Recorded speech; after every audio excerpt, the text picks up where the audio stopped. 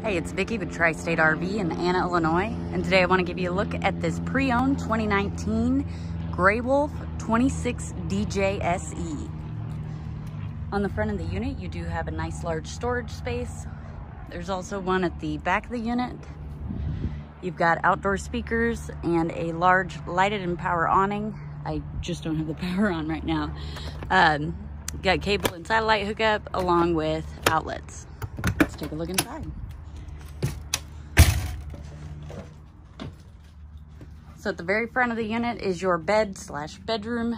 Um, not sure why my little gizmo here is a little crooked, but uh, so you do have the bed. You've got a mirrored closet on each side of the bed and side open cabinets up top.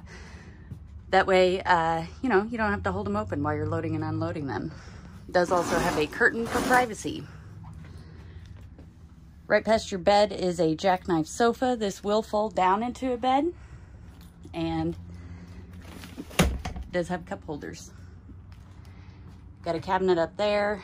Here's your kitchen. Got a little bit of counter space. Does have a large single basin apron front sink. There is a sink cover underneath the sink. You do have a three burner Furrion stovetop and oven here. Up above that, you've got a Greystone microwave. And over here, you have a Dometic freezer and refrigerator.